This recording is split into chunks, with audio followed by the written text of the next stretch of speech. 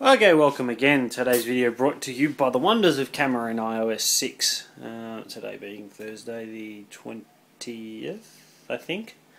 Um, I posted a video a while ago of a little DMX controlled smoke machine project I was working on.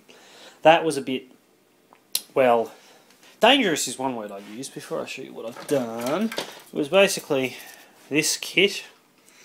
Uh, Had the smoke machine running across there, just run into the remote. That worked fine. In fact, that actually ended up getting used on a gig for a school musical. Um, it was encased in. Uh, it was it was taped into this, hence the uh, gaff, and uh, that worked. But uh, I wanted something a little bit nicer, and I'm actually uh, the person who used it for that gig said he'd buy one. Uh, so I made one, and this is it on the bench. I'm still testing it. It certainly looks a lot more produced. Uh, I'll be careful because there's mains power, but you can see on the front panel there's a slot with the address switches going there. Uh, there was they were being a bit funky before, but they are on a little extended board with some ribbon cable. You've got your DMX in and out, uh, power input. I'm using a Speakon as the output connector. Um, main reason being for it was something I already had lying around that was not going to be plugged into something else likely. I mean, yes, there's other things that use Speakons, like you know speakers, but uh, I can't think of anything a lighting person's going to have that's got a Speakon on on it. Possibly a powerCON, but they aren't compatible. Uh, the only other things I've added, I've added a power loop through on the front. In this case, that's running just down to this little board that I'm, little DJ controller I'm using for testing. Um, few of the interesting problems I've had, the usual problem that I have, which is I'll uh, pick a case that's too small um, and in addition to that, I had a new problem. The power connector I originally had mounted was going to have mounted here. I didn't actually notice those little stupid things until after I put the holes in the box. So uh, I have some things I have to work out what I'm going to do with that. Um, the other thing I had the problem with was the power supply, which is at the minute wrapped up.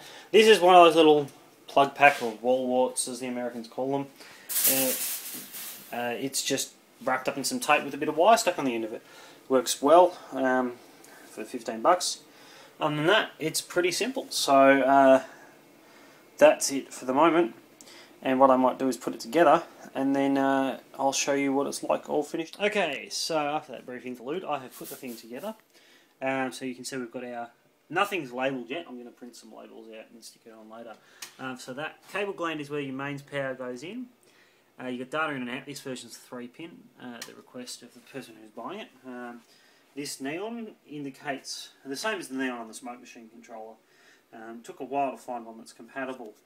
The I've got another one here somewhere. I hope I do, considering that they're they're about thirty bucks each, so they're not cheap. Um, but it's much slicker this way than the way I was going to run it, which is to run the smoke machine in uh, in sort of a the controller will be in, in line with the remote. Ah, there's the um, So this is the neons I bought. This one was used for the test version. Uh, the whole premise of the system is. If you go back and look at the last video, everything's sort of running at 110, 120 volts. Um, but so yeah, so then you've got that. You've got the dip switches, you've got your mains loop through, and then you've got your Speakon connector, which these are the old twisty connectors. It'll still be compatible. And uh, that's it. I mean, simply, if you look here, I mean, you push the controller up, that comes on, and smoke comes out. It's really can't be much simpler, but you know, it's in a nice enclosure. It's rugged. It's um, weather sealed. I mean, nothing really else is weather sealed, but it's a high quality box. And yeah, so uh, any comments, feel free to leave them below, and uh, I will endeavour to answer them. Thanks, guys.